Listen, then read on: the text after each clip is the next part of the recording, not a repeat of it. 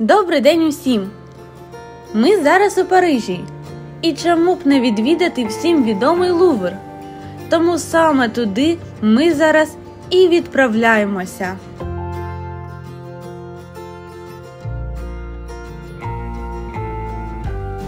Ви можете помітити, що є написи павільйонів на будівлі музею.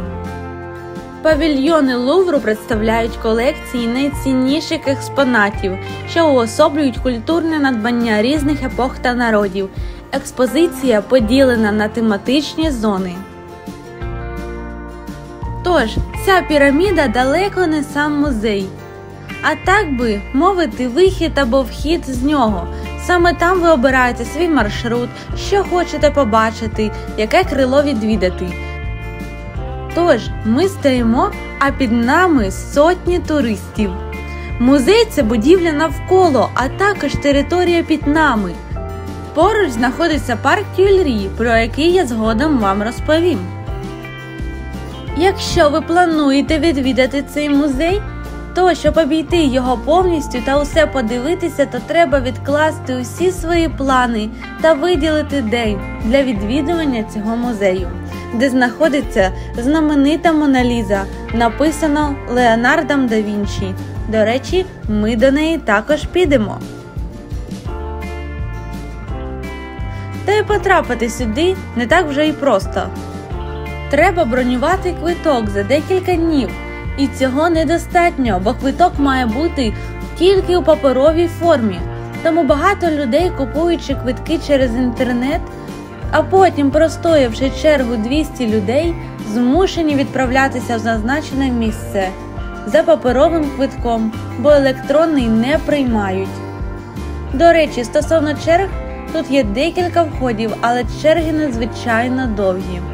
Тож треба набратися терпіння, а також очікування та реальність трохи відрізняються, бо навіть всередині музею є черги. Та дуже багато людей. Першу годину черг я хотіла просто вийти з музею, але не просто ж так я провела стільки часу, очікуючи, щоб решті-решт побачити, чому люди з усього світу їдуть саме сюди. Те, що черги, це й не дивно, адже це найбільш відвідуваний музей у світі, і він приймає в середньому не менше 15 тисяч відвідувачів у день. Саме тут можна відчути та побачити мистецтво у різних варіаціях, а також відчути себе мурашкою. Або, наче пам'ятаєте, маленькі експонати з фільму Ніч в музеї. Саме це перше, що мені спало на думку, побачивши таку картину. Одразу війшовши в музей, нарешті, можна взяти план будівлі різними мовами. На жаль, української версії тут не було. Також є ресторан та кафе, де можна перекусити. Тут продають напої, випічку, сендвічі тощо.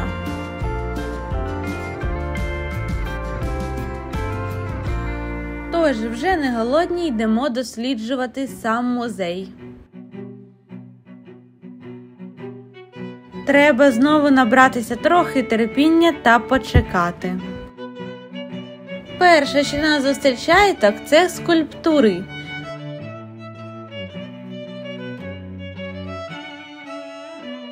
Лувр містить понад 380 тисяч експонатів, з яких лише 35 тисяч виставлені у восьми залах загальною площею більше ніж 60 тисяч метрів квадратних.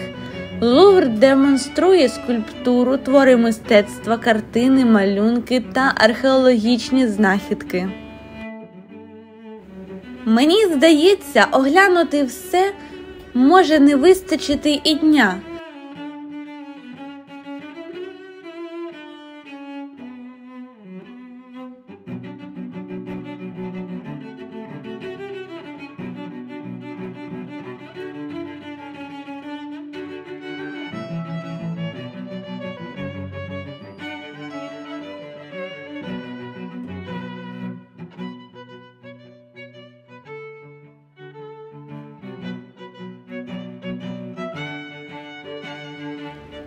Чесно кажучи, незважаючи на кількість людей, я не можу сказати, що я жалкую, що відвідала цей знаменитий на весь світ музей. І ми зараз направляємося до Моналізи. Адже як же, побувавши в Луврі, та не побачити цю картину. Лувр має не тільки картинну галерею, яку презентують широко відомі картини майстри Італії, Франції, Німеччини, Іспанії, Голландії та Фландрії 17 століття. Це різнобічна колекція витворів мистецтва і за матеріалами, і за техніками, і за стилями. А якщо говорити про сам склад музею, то Лувр розділений на вісім відділів відділ єгипетських старожитностей, відділ грецьких, етруських і римських старожитностей, східних, відділ мистецтва ісламських країн, відділ живопису, скульптур, графіки, предметів мистецтва.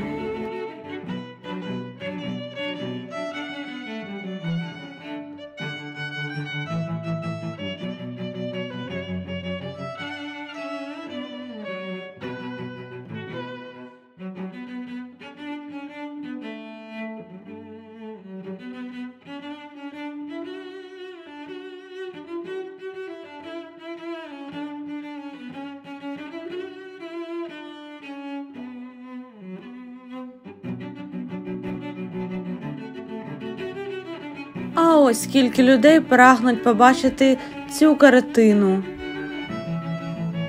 І треба також вистояти чергу.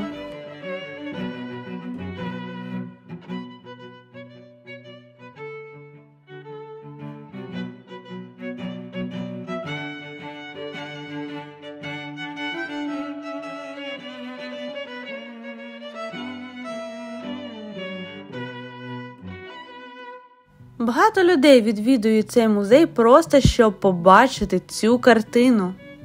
Ну, ми її вже побачили, а ми направимося до приміщення, яке ми бачили на початку, там де люди здавалися дуже маленькими. Цей музей є одним з найбільших у світі. І до того, як стати найбільшим у світі, палац пережив чимало трагедій, інтриг, змов та постань. У різний час він служив середньовічною фортецею, королівською резиденцією та народними зборами. Формування комплексу невід'ємно пов'язані з історією Франції. Наприкінці VII століття з ініціативи короля Філіпа II була споруджена фортеця, призначена для захисту Парижа від навали норманів та англійців. Споруда була циліндричною вежею, оточена надійними високими стінами з масивними воротами. Середньовічний феодальний замок був названий Лувром, що у перекладі з французької мови означало бути на варті. У ньому знаходилися казначейство, цінні архіви та в'язниця.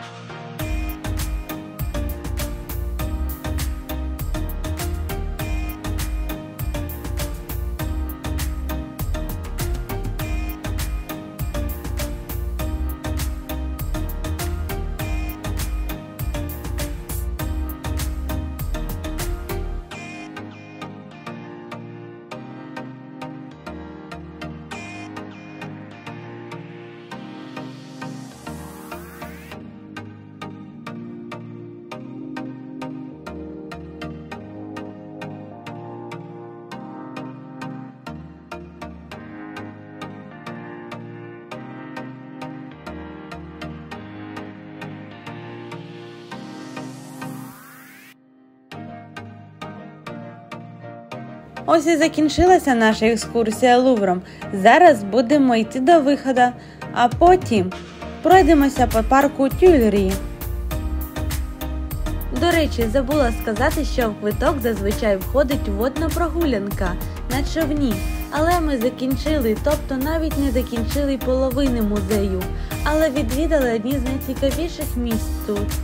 У нас і так були плани, та досить таки сильно втомилися, тому вирішили водну прогулянку відкласти на наступний раз. Тож бажаючі можуть відправитися та провести вечір чи день беручи участь у прогулянці річкою. Я сама з задоволенням це зробила б, але не склалося, бо мала обмежений час. Але вам раджу скористатися таким шансом. Та й час прогулянки ви можете обирати самостійно, як вам буде зручно. Біля парку Тюльрі розташований ще один музей.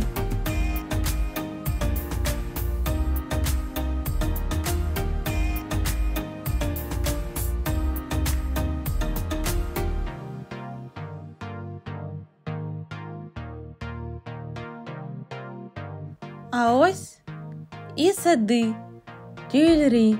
Колись тут знаходився палац Тюльрі, а тепер це лише французький парк. Ще в 15 столітті тут була околиця міста за стінами Луврівської фортеці з публічним звалищем і видобутком глини для виробництва черепиці французькою тюїль. Звідси походить і назва Тюльрі.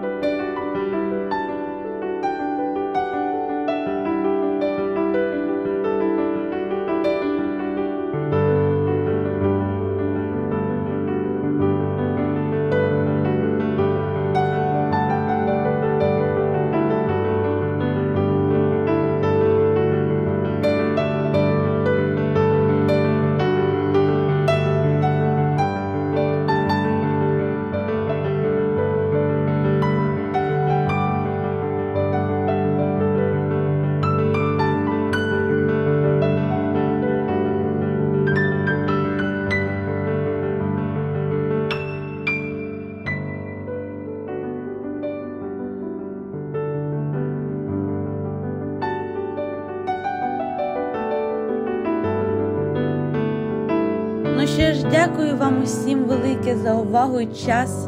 Побачимося в наступному відео. Буде ще цікавіше. Гарного дня, до зустрічі!